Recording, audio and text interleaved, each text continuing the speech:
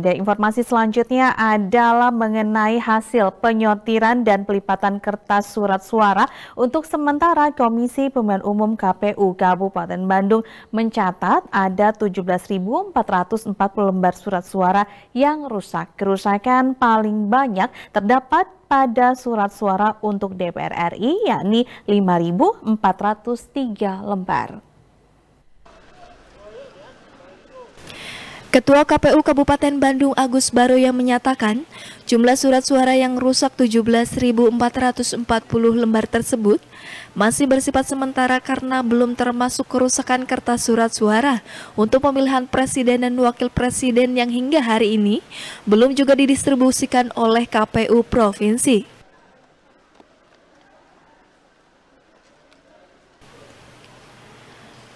Kabupaten Bandung masih menunggu perhitungan surat suara yang belum datang, yaitu surat suara untuk pemilihan presiden dan wakil presiden yang rencananya datang pada hari ini.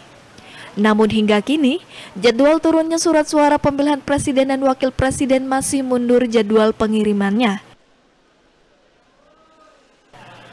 Untuk total surat suara DPR RI yang masuk ke KPU Kabupaten Bandung ada 2.408.662 lembar dengan jumlah surat suara yang rusak sebanyak 5.403 lembar. Sedangkan untuk surat suara DPRD provinsi mencapai 2.408.563 lembar dengan jumlah surat suara rusak 3.490 lembar.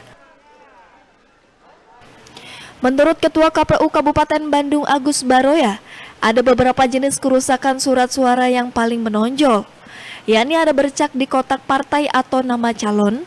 Kedua terdapat lipatan kertas surat suara sehingga saat kertas surat suara tersebut dibuka tampak keriput. Ke teman-teman surat suara yang rusak itu uh, apa namanya? Sekitar 2000 3000 ada yang 4000 memang dari setiap jenis surat itu beda-beda.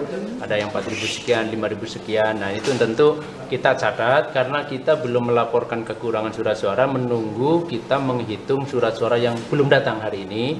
Rencananya tadinya hari ini tetapi diundur yaitu surat-suara untuk uh, presiden dan presiden. Tapi tentu catatan ini selalu kita komunikasikan kepada KPU provinsi untuk nanti secara serentak pada waktunya seluruh KPU kabupaten kota akan melaporkan kekurangan surat suara akibat bisa jadi kekurangan pengiriman atau karena ada yang rusak.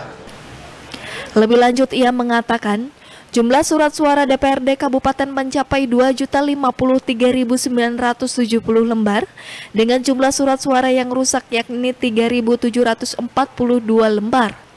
Sedangkan kertas surat suara DPD mencapai 2.172.029 lembar dengan jumlah surat suara yang rusak sekitar 4.805 lembar. Rezitia Prasaja, Bandung TV